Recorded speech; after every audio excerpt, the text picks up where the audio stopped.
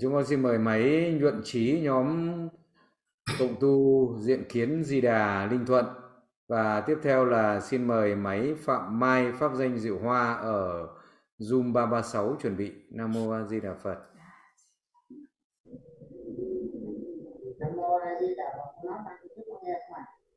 Dạ nghe nhỏ lắm bác ờ, bác ờ, nhuận trí ơi. Bác ờ, đến sát đến sát cái mic đi. Sát máy một chút nữa và nói ờ, lớn lên nhá. Nói chậm chậm để thầy nghe được. Dạ Nam mô A Di Đà Phật. Con kính chào chư tôn thiền đức ban nay. Con kính chào thầy Diệu Âm Tình Hải cùng ban tổ chức đường dân và ban liên hữu đồng tu trên trang dân. Con xin đọc câu hỏi. Chúng con là hàng phàm phu tội chướng sâu nặng. Đời này chúng con may mắn, có cơ duyên gặp được bác môn niệm Phật hộ niệm vạn sanh. Đây cũng là nhân duyên nhiều đời nhiều kiếp. Hàng ngày chúng con có tu hành, có niệm Phật, có nghe pháp và có phát tâm đi hộ niệm khuyên người niệm Phật, khuyên người bệnh buông xả vạn duyên nhưng chúng con thấy hộ thẹn khi khuyên người bệnh buông xả niệm Phật cầu vạn sanh họ ra đi để lại hỏi tướng vô cùng tốt đẹp còn chúng con thì vẫn còn tình chấp sâu nặng chúng con còn tình chấp. Tham sân si vẫn còn. Vẫn còn ái anh tiếp tục nói nhưng mà đọc chậm chậm lại một chút nha. Lớn lớn một chút nhỏ quá. Chậm chậm là một chút anh nên nhuận trí. Chúng con vẫn còn tình chấp.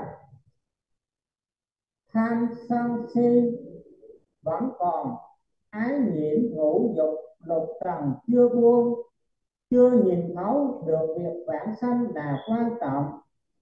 Nay gặp được pháp môn, niệm phật hộ niệm vãng sanh, mà thầy đã dày công nghiên cứu.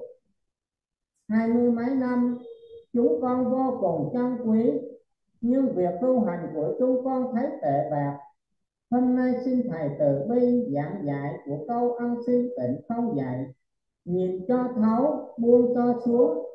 Và khi vô thường đến, chúng con có phước hoàn vạn, sanh tây phương cực lạc. Con thành kính ti ti âm thầy, nam mô a di đà phật. A di đà phật.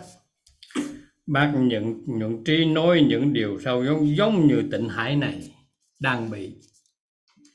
Có nghĩa là mình đứng trước đại chúng mình nói dốc thì nhiều. Chứ còn cái tâm mình còn lộn xộn dữ lắm chứ không phải an tịnh đâu. Cho nên nhuận trí mà bị à thấy mình là còn phàm phu, tâm mình còn lộn xộn, còn tham sân suy mãn đủ điều, là cái chuyện bình thường mà tịnh hải này cũng chưa chắc gì đã gột rửa hết đâu nhé. Chính vì vậy mà mình mới thấy là cái sự hộ niệm nó quan trọng vô cùng nếu không có hộ niệm thì chính tỉnh hải này đến sau cùng rồi. Chưa chắc gì niệm được một câu a di đà phật trọn vẹn để cầu sanh tây phương cực lạc. Vì sao vậy? Vì hai hoàn cảnh hoàn toàn khác nhau. Một là bây giờ mình nghiên cứu trong kinh điển mình nói hay nói giỏi, và mình chưa có nhức đầu trong mặt đến nỗi mà mở một con mắt không ra. Còn một cái điểm nữa là cái lúc và cuối cùng cuộc đời của mình. Mình nằm mà nằm không yên. Mình mở con mắt mà mở mắt không nói, không ra. Mình muốn nghe một tiếng dịu dàng mãi nghe cũng không được.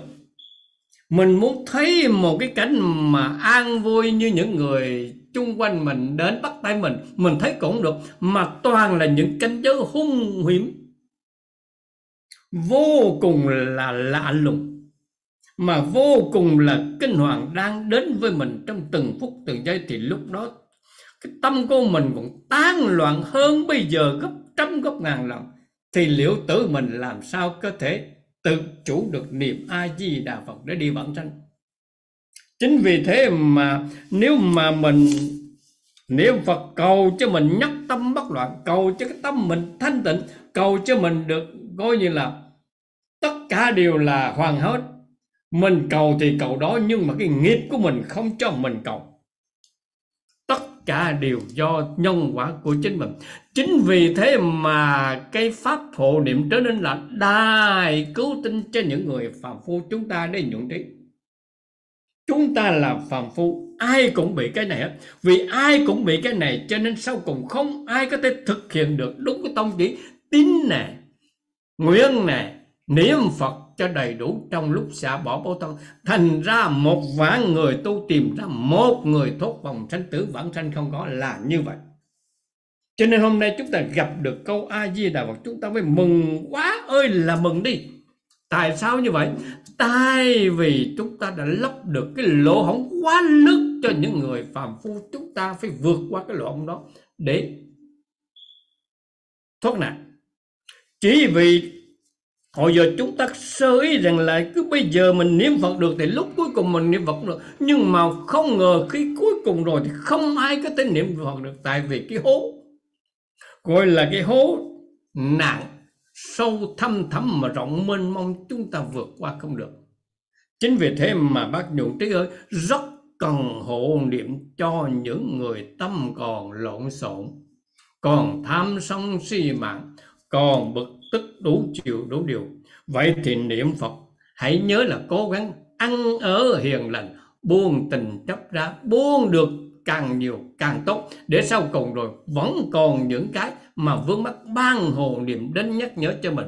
Còn những người không chịu tin hộ niệm, thành ra đến lúc đó ban hộ niệm nói cái gì mình cũng cãi lại, nói cái gì mình cũng làm theo, thì đành rằng mình phải lủi thủi đi vào trong hố thẳm chứ biết làm sao. Vậy thì cái lời giải hôm nay là nhờ ban hộ niệm giải quyết cho chúng ta.